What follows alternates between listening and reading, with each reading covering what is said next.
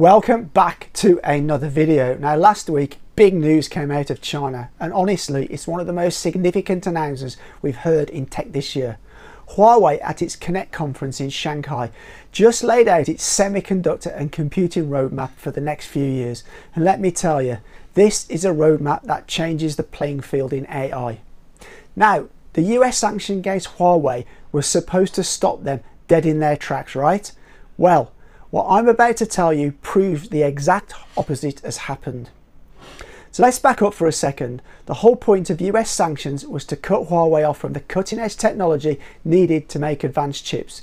The idea was simple no access to US tech, no way forward for Huawei, and no chance for China to keep up in AI. But a few days ago, Huawei basically stood on stage and said, Actually, we're fine, thanks.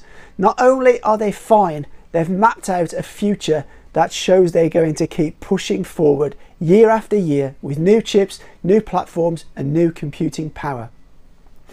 And the significance of this isn't just about Huawei as a company.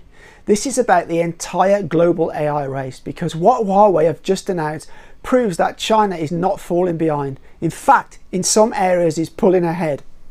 So what exactly was it that Huawei announced? Well, First, they revealed that their Ascend AI chips will now follow an annual release cycle. That means every year a new chip. The Ascend 950 is coming in 2026, then in then the 960 in 2027 and the 970 in 2028. Each one they say will roughly double in performance. But here's the thing, Huawei has developed its own high bandwidth memory, HBM, which is absolutely critical for training large AI models. That's an area where they were previously dependent on overseas suppliers like Samsung and SK Hynix. Well, not anymore. And then on top of that, they've announced these giant supernodes. Think of them as massive computing clusters. The Atlas 950 in 2026 will link together over 8,000 AI processors. The Atlas 960 in 2027 15,500 processors in one system. So chip for chip, Nvidia might still have the edge. But Huawei is saying, we don't need to beat you one to one. We'll just scale our system so wide that at the cluster level, we can match or even surpass your performance. Now think about how significant that is.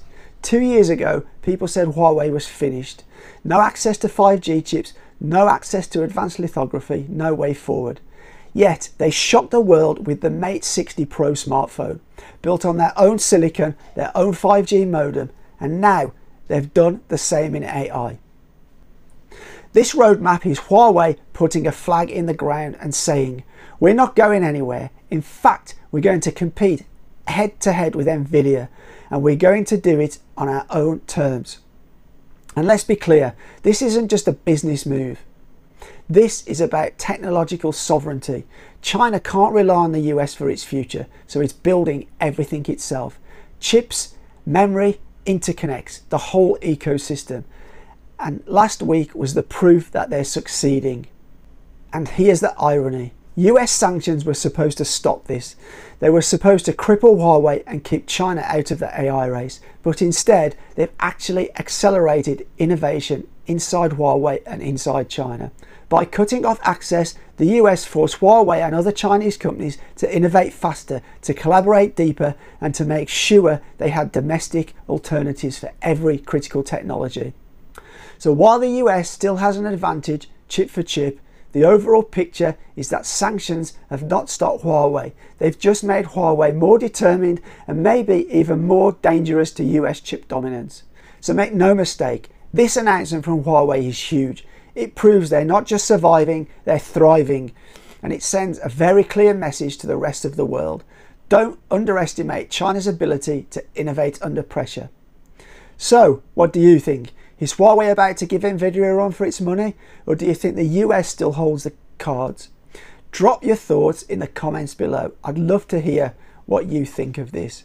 Anyway, I'll catch you in the next one. And for now, as always, take care.